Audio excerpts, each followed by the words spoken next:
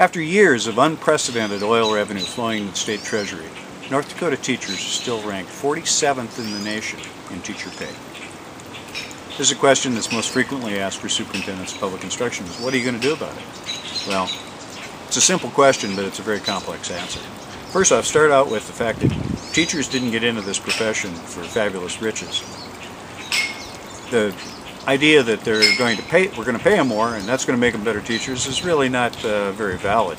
Other than the fact that if we treat them like the professionals they are, and that includes paying them like professionals, might be a little more confidence and enthusiasm when they go to work each day.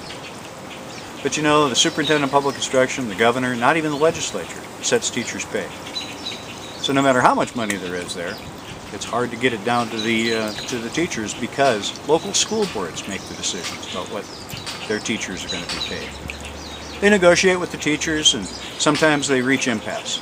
And when they reach an impasse, they can call on the North Dakota Education Fact-Finding Commission to come in and recommend uh, a solution. They'll hear both sides and they'll say, oh, we think it ought to be this. The problem is, it has no teeth. There's nothing that can be uh, uh, uh done by the Education Fact-Finding Commission. In fact, all power resides with the local school board. The teachers can't strike. They can negotiate, but they can't strike. So in the end, they're confronted with one simple decision, that is, accept what the school board gives them or quit their job.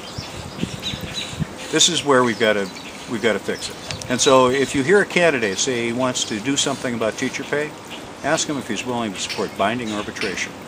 Because in the end, it's only if they both sides approach arbitration or mediation on equal footing that there's going to be a resolution to this that the teachers can live with.